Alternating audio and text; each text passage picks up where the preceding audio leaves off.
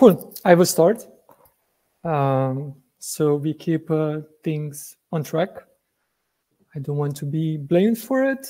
Uh, I'm Robert Mészáros, which is a Hungarian name. It means uh, butcher in English. I'm in my 30s. Uh, I live in Romania, where I'm joining from. I've been a developer for a few years now, and um, initially, what uh, got me interested in end-to-end testing, particularly, was some work done on a legacy application, on a legacy application where uh, there were no tests, and introducing any kind of other tests than uh, end-to-end test is quite complex because that would mean you would have to do some refactoring. And uh, with end-to-end testing, we can kind of like solve this problem and uh, give us like a head start and a good baseline uh, for tests so we can do refactorings uh, later. Today, we will talk about end-to-end testing in the context of WordPress with Playwright, which is a tool, and uh, especially with the test utils from uh, WordPress. To uh, lay down some expectations, first we will um, get on the same page. We will have a working definition of what testing is, what end-to-end -end testing is particularly. Then we will take a look how uh, we ended up in the situation that we have two test utils today in WordPress and how that is going to be solved in the future. Then uh, we will dig into Playwright and the test utils based on that.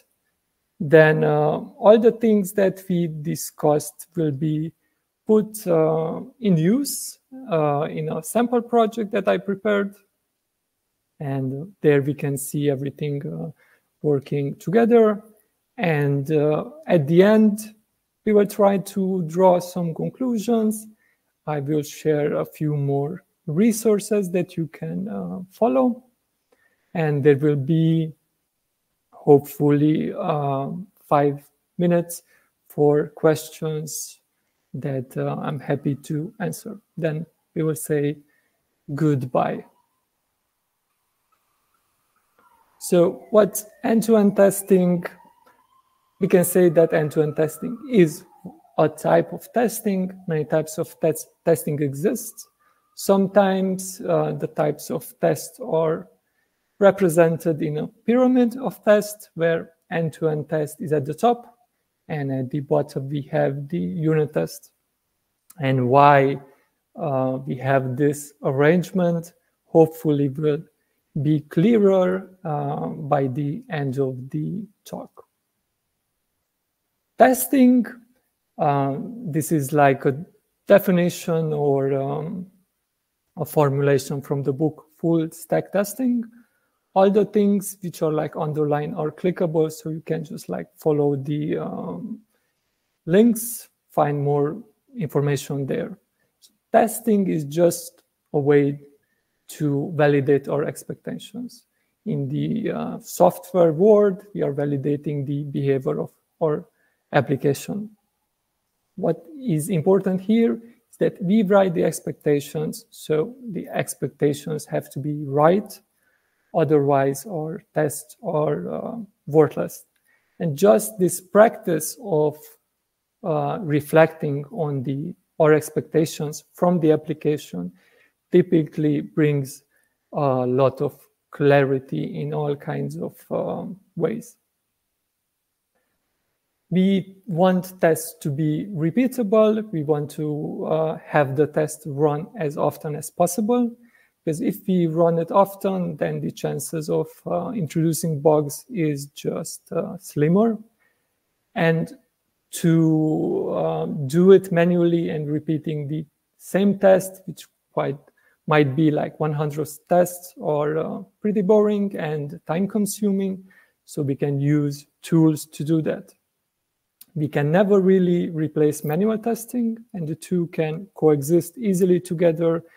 And especially because automated tests typically are derived from the work that was initially done by uh, manual testing. So with all these definitions, um, we can get closer to what end-to-end -end testing is. This is a description from an article from the WordPress uh, Make website. And here are a few things that are important. One is that we are interacting with the application with end-to-end -end test. So we are not testing a function like we do in unit test. We are interacting with the application as a whole, which kind of like means that we have to have the entire application booted. So we have to have WordPress running. And this is why we have the production-like environment also in the description. In end-to-end -end tests, typically we use the browsers to perform our tests and we are validating different flows. This means that we are mostly interested in a journey that a real user takes and the things that happen during a journey. A journey you can imagine in an e-commerce setting that the user searches for a product, it adds it to the cart, goes to the checkout, and uh, pays for it. So that could be one flow. Of course, like um, leaving a comment would be a very different flow that end-to-end testing is used. In this way, if you just go back to that pyramid, you can see that end-to-end test is a high-level test, which means we are not interested in the foundational level of our application, which is the code. And that's what unit test does. It verifies the code. Here we are really verifying the integration of the entire components that we have. Playwright is a tool to perform these end-to-end -end tests. There are other tools like Puppeteer. Puppeteer is one of the other uh, tools used in WordPress for tests. Playwright is a more modern one. It's actually a fork of uh, Puppeteer. Uh, it's considered more reliable these days, and it really also allows testing in uh, all kinds of browsers, in all kinds of operating systems, in uh, continuous integrations. We can even test um, native um, mobile emulation. And what is more important for others outside the WordPress ecosystem, it also supports other languages like Java or uh, .NET. The WordPress test utils is um, some kind of helper functions that are uh, on top of the testing tools like Playwright or Puppeteer. These test utils are practically used by Gutenberg, but they are also integrated by Core. And because they are published like standalone packages, you can also like uh, consume it and use it in our themes or uh, plugins. So this, this is how a test looks in uh, Playwright. And I underlined the part which comes from the test utils because Playwright, in essence, doesn't have any knowledge of CMSs and also not about WordPress. So we need a test util to perform some actions in a very convenient way we can still do all the things uh, that test utils provide without the test utils itself, but it makes it much more convenient. The rest, selecting an element like a heading in this case, is available in Playwright, and also the assertion that that heading is visible on the page is also coming from uh, Playwright. Um, to somehow complete that definition from the uh, from the article from the WordPress, this is comes again from that full stack um, testing book. Here, what I highlighted is that we can only have just a few tests, which practically activates all components. So if you think about that e-commerce example, during that journey that the user takes from searching a product, adding it to the cart, and going to the checkout, it practically activates all or many functionalities of our application. And with just a few tests, we can confirm that those parts of our system work and interact uh, well. And in that sense, to think about the pyramid, we can argue that uh, we can have just a few end-to-end tests, and that might be even enough. The other part to complete this book argues that uh, downstream systems should be also included. In the e-commerce example, a downstream system would be another service that we integrate, maybe like QuickBooks for like invoicing. The book argues that uh, during the end-to-end test, we should also check that we, our integration with third-party system is functioning. So end-to-end test should cover that. For example, after a successful checkout, actually the invoice is somehow generated in the QuickBooks, or is it available in our system? Now going back to the two test utils and how the entire uh, end-to-end testing in WordPress started. So the Gutenberg project was kind of like kicked out uh, at the end of 2017. And even in the early phases, uh, end-to-end test was integrated in Gutenberg. Initially, they used Puppeteer, and all the work that was done in Gutenberg regarding testing, the foundation work, practically resulted in the standalone packages that we use today. And uh, so in the middle of 2019, so kind of like two years after Gutenberg was started, the um, after the foundation was laid for the test utils, a standalone package was published which is um, under the WordPress slash end-to-end test utils.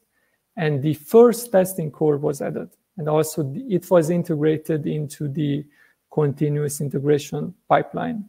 And the fact that it was published as a standalone package meant that other plugins or everybody from the community could start uh, using it, which many did in the next years, uh, there were a few more tests added in core, uh, but not much happened uh, in core, at least not on the surface. When the package was published, initially it still remained in the Gutenberg uh, repository. So lots of work might not um, been in core, but in Gutenberg many things happened. After a bit after the package was released in 2019, right after one year, already people started discussing about switching to Playwright. Playwright um, started become more solid.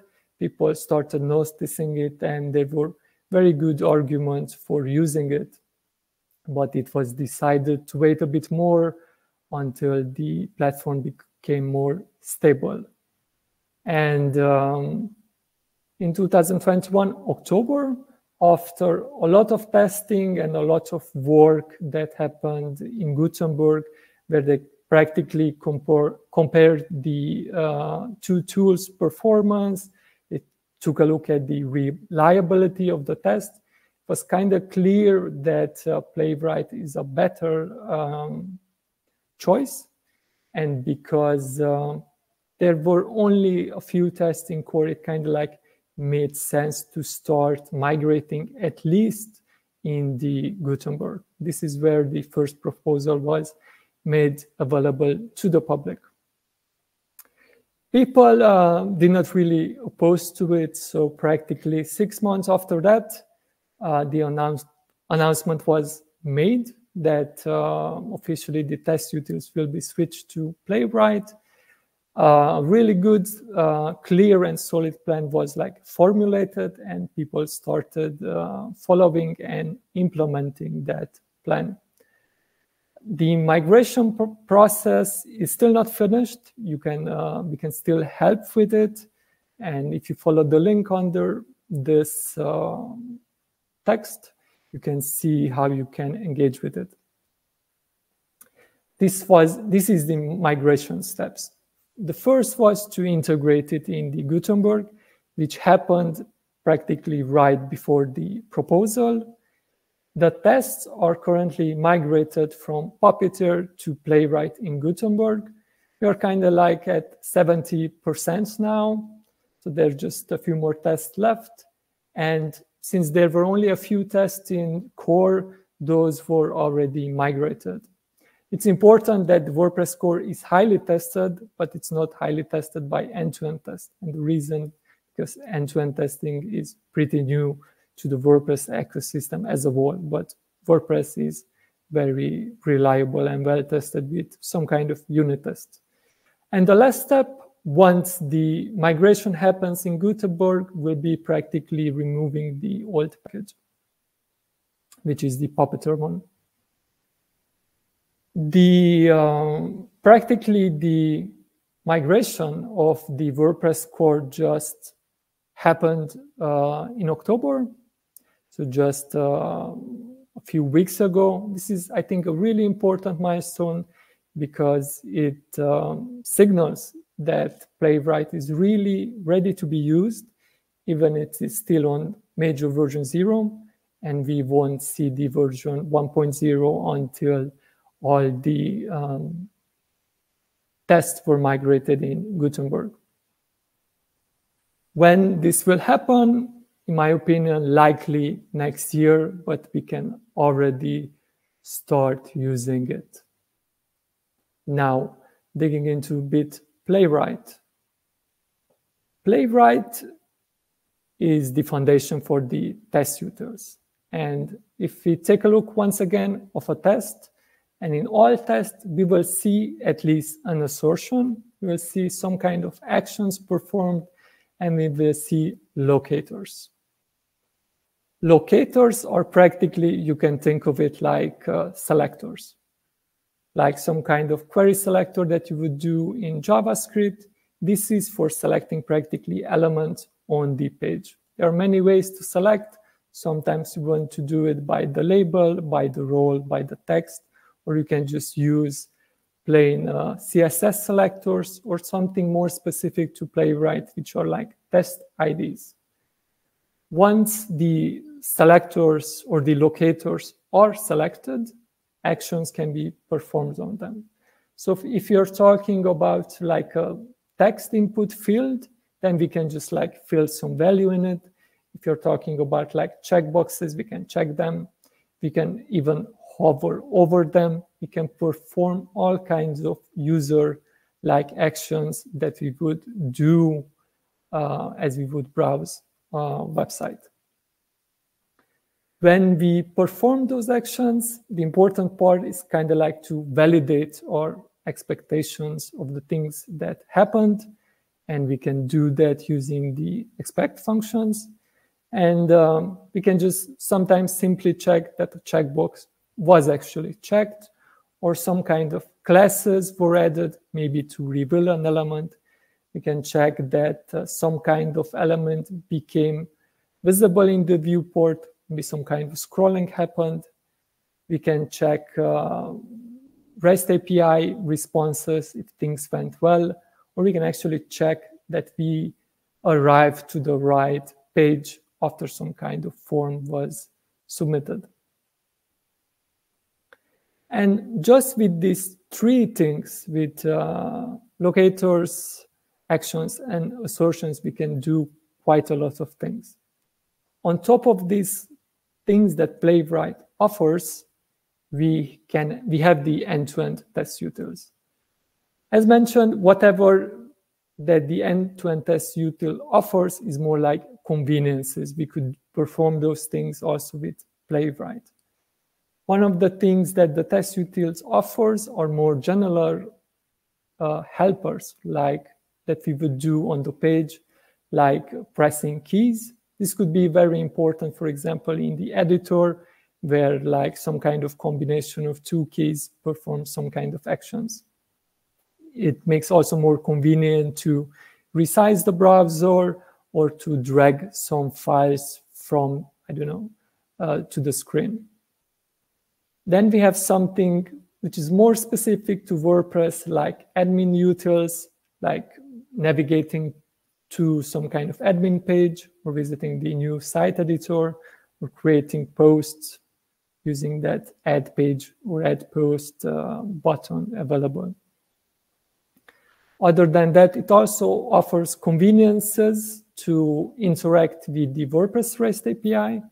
So just by calling a few methods, we can just create a post, delete all the comments or activate a team. And when some kind of uh, endpoint is not supported or we are dealing with uh, uh, a third party endpoint, we can just use the more lower level request utils REST method to perform really any kind of uh, REST API action, either deleting or just like posting something. Since uh, the test utils were started in Gutenberg, we have a bunch of uh, methods which deal with the editor, inserting blocks, publishing it, going to the preview page, all kinds of things that could be automated or automated and available as a method. Then we have some kind of other utils which are important for doing performance measures like uh, Lighthouse, getting the report, or just checking how the server responds. This kind of like means that we can not just uh, navigate uh, the website with the end-to-end -end, um, and with Playwright, we can actually perform other kinds of tests which are like performance tests. And on top of this, of course, if we have like a bigger project, we can extract something, uh, some repeating things to project specific utils. And one good example is this, the WooCommerce blocks, where they integrated Playwright and the uh, WordPress test utils, but on top of it, they built their own utils. And because we are dealing with WooCommerce, this offers the possibility to add items to the cart, go to the checkout, clean the cart, everything that you would expect to do in a, in a WooCommerce website. Now that we kind of like have a good understanding of, uh, at least a base understanding what's available, we can take a look at the uh, sample project. And the sample projects tests uh, community plugin, which is called WP Guestbar. We are integrated into GitHub Actions, so we have continuous integration, and we are using the official Docker images. So there's nothing really complicated going on if you just like re read ever an article how to set up WordPress for Docker, it's pretty much uh, the similar thing.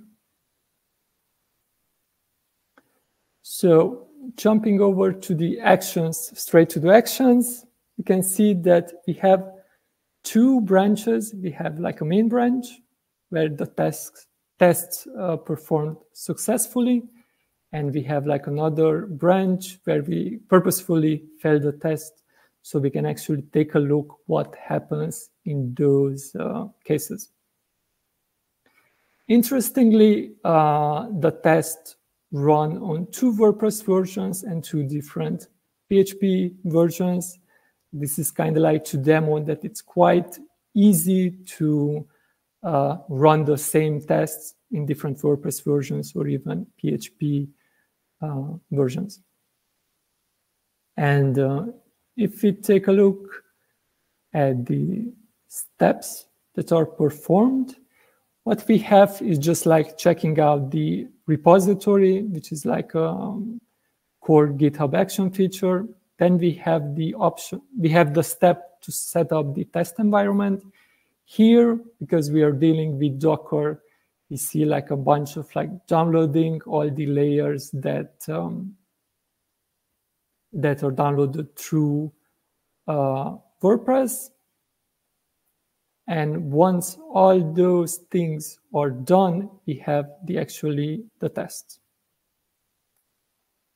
And we have eight tests. And what I want here to highlight is that we can actually without knowing anything about that WP guest bar, we can write the test in a way to really capture the essence of this plugin.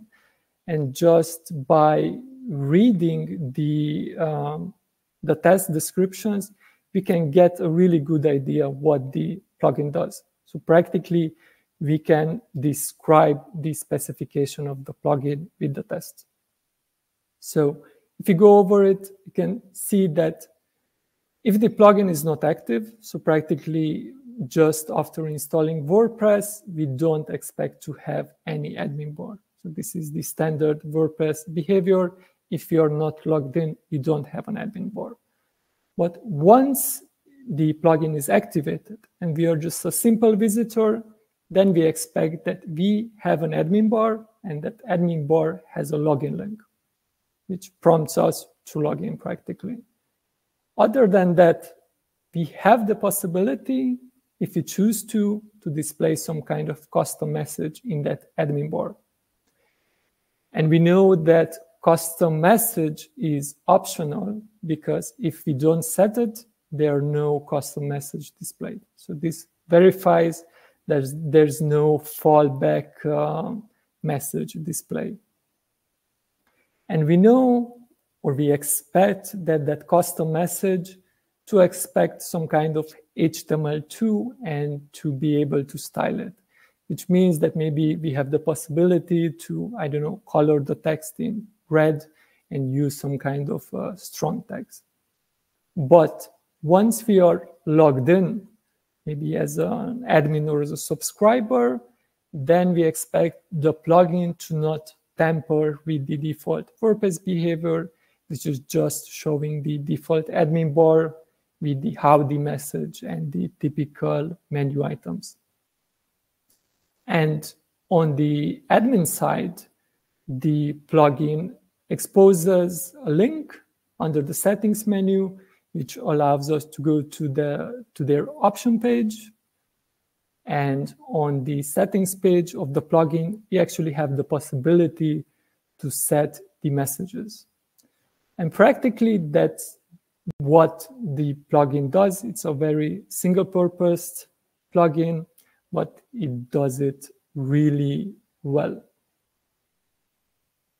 Now, how this thing is achieved and how we are testing it.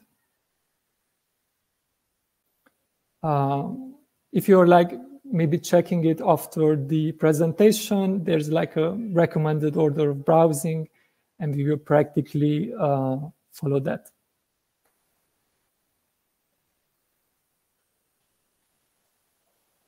And hopefully this will load. It's already loaded. So the first thing is, um, is the configuration of the playwright. Uh, the configuration can be quite complex in some cases, but with just a few things, we can just get started. You can just say that, hey, every tests are in the test folder. So like we saw that we have three test files. We can define to have something run before all the tests are performed. And we will take a look what this global setup does. And then we have a few settings turned on, which is like in case something goes wrong, like one of the tests fails, which we have on our one of the branches, then we want to maintain all kinds of information like screenshots, videos, traces, just to help us to uh, debug the things that could go wrong.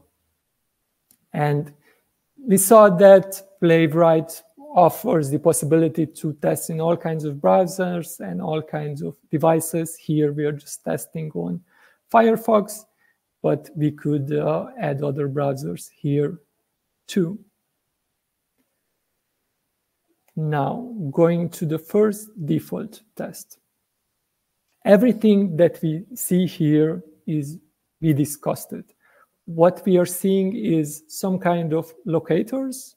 In this case, we are just using uh, CSS, simply an ID. We have an assertion happening, which we are saying, hey, I want to verify that actually the admin bar is not present when the plugin is deactivated. And all this should happen on the front page. So that's why we are using page go to slash, which is assuming it's our root URL and not the admin page that we saw in the presentation. And that's all. With this, we kind of like confirmed our base use case of uh, WordPress. Now, before going to check out the front test, uh, front-end test, I want to talk just for a moment about this global setup and why this is needed and why why you will definitely have it in your test if you will test your theme or plugin.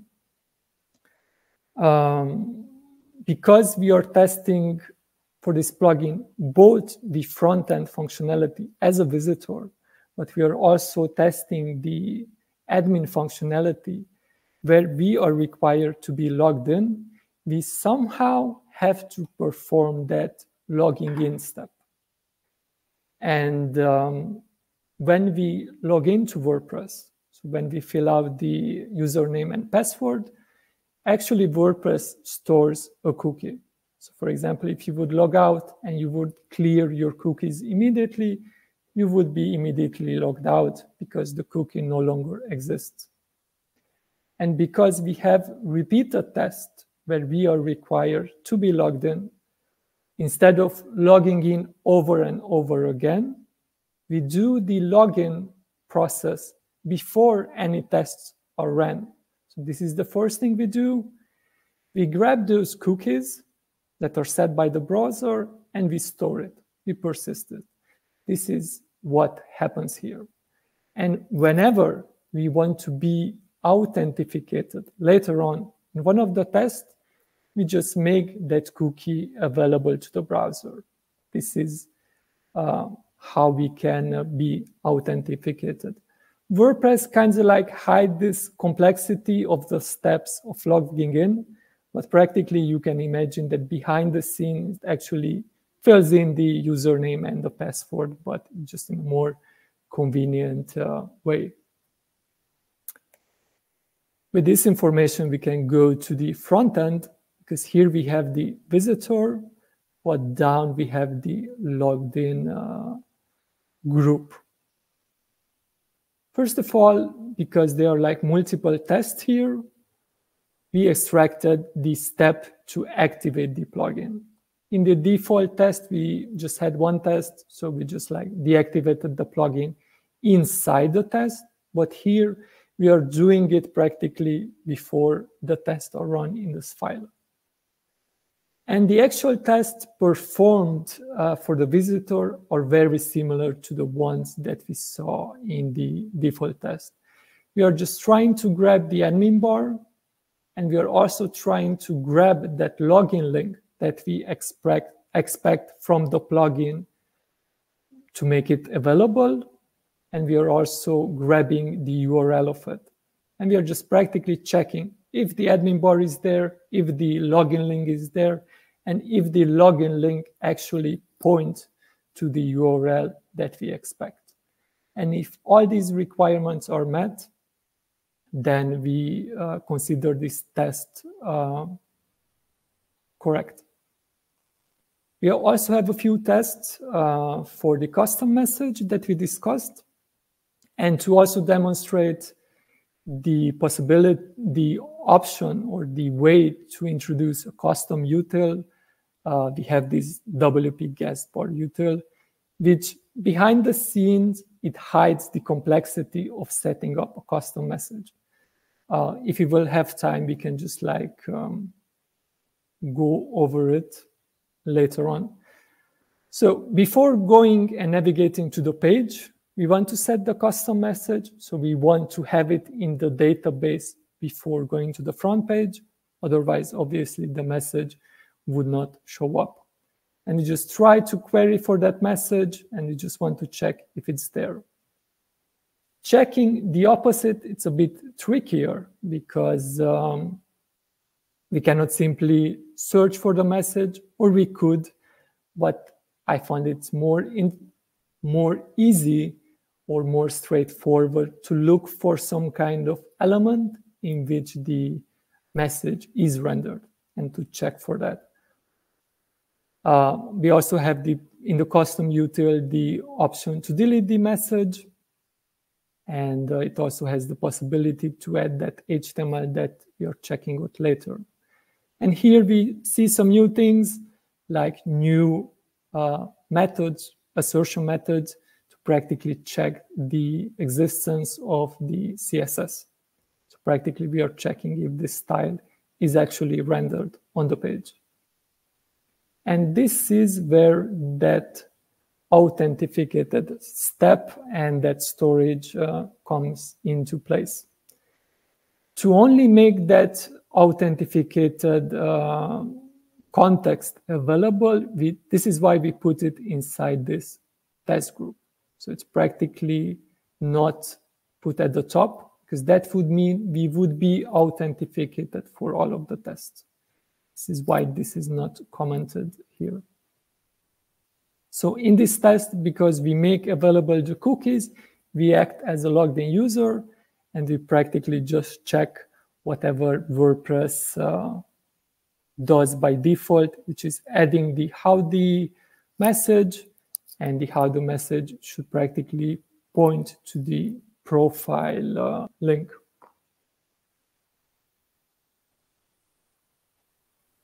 Then on the WordPress admin tests, uh, because here we want to be authenticated for all of the tests, we practically made the context available as the first thing. For the same reason, we also do the activation step uh, before any other tests.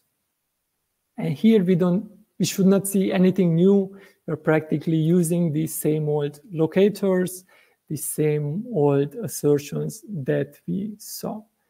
The more interesting thing is maybe checking the settings page where we make actually use of multiple actions.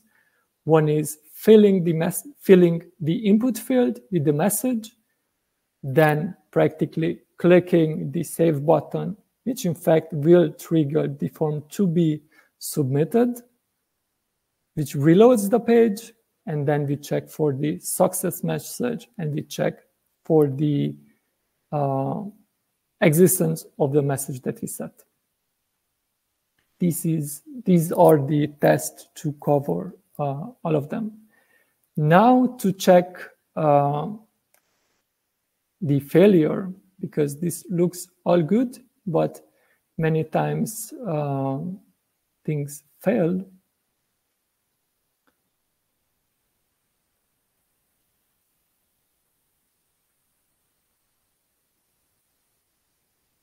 So first of all, if things fail, we get some kind of error message already in the console or in this kinds of output from the uh, GitHub action. And sometimes this might be uh, enough to debug and know what went wrong. We can get some kind of message that we expected things to not be visible, but we actually got something visible. This already could tell us what went wrong. And later on, we also see that we expected the string, but we received something else. And if this information is not enough, maybe we have some kind of other test, other messages that's not really clear, then we can make use of those screenshots or that video that we are saving uh, when things went wrong. In the context of GitHub Actions, those are practically saved as artifacts. So we can just like download and inspect whatever went uh, wrong. Obviously, if you're running the test locally, you just have access to the uh, test results immediately. So I already downloaded in, in advance. Let's take a look. Uh, when something fails, we get a folder for each test that have failed, we immediately get the description of what went wrong. And here we have the image, we have the video and the trace. So the things that we, we configured in the uh, Playwright config. So if we take a look at the screenshot, we actually see that the admin bar is there, even though we expected it to not be there. So this is really a visual way to check what went wrong instead of just reading the message. Uh, the video in this case, it doesn't tell too much because it's practically loading the website. We see the website loading up, but doesn't give too much extra information compared to the uh, screenshot.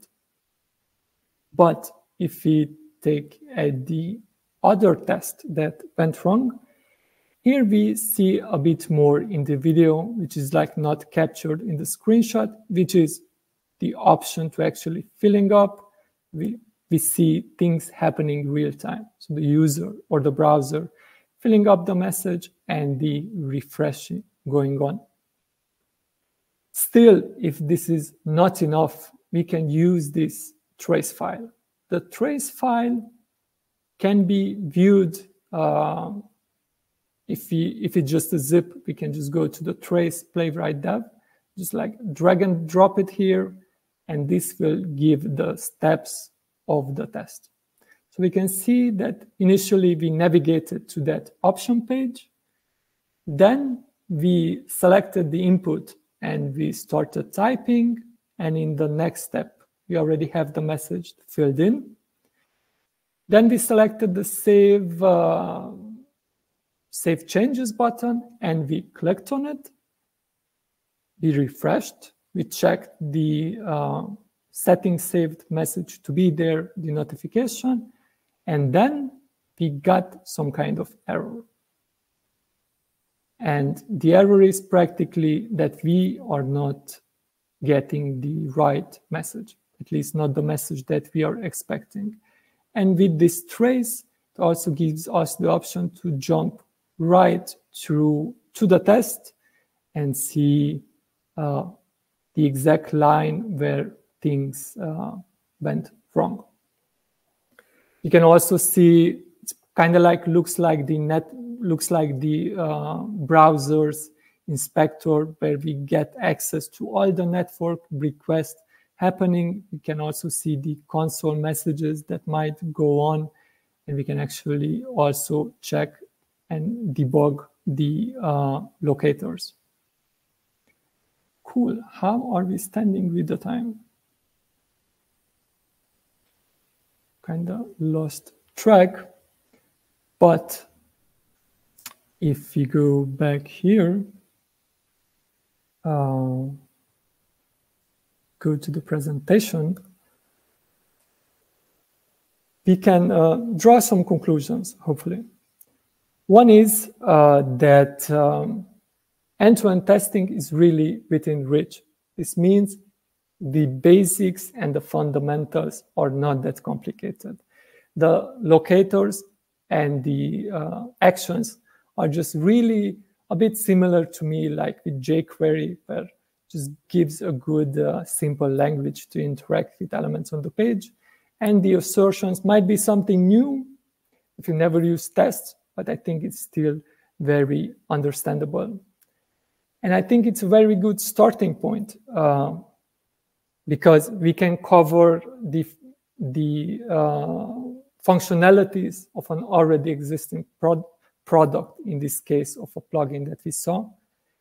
It's also a good starting point to have like a baseline to then introduce some kind of refactorings, which are not really doable without um, solid understanding of the product.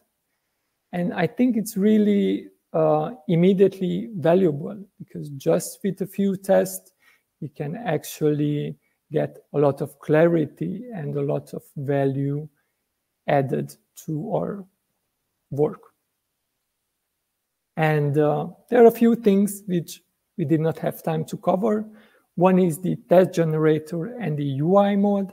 So in case you are kind of like afraid to start writing these tests on your own, Playwright offers the possibility to actually generate this test with some kind of uh, clicking uh, interface. So it's even for very, very beginners, it's quite easy to get started.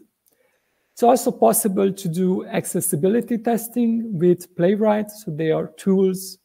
Uh, the same way, for example, we saw some kind of performance utilities from WordPress. We have accessibility utilities from other packages. It's also possible to do visual comparison. So we can check, for example, if you're working with CSS, to check if we introduce some kind of bugs, did that have any impact on certain elements? It's possible with Playwright. And then two other pages that I want to highlight is the best practices page. Just like go over if you ever uh, want to get deeper into writing text tests. And obviously the Puppeteer migration, which is helpful if you already used the um, previous test util from WordPress because this gives you like a kind of like step-by-step process how to migrate your old tests to Playwright because the syntax is quite similar and it's not that complicated. Uh, and as I shared, this material and this uh, sample projects is publicly available. You can go there, you can dig a bit more through the files and um, see how things play together.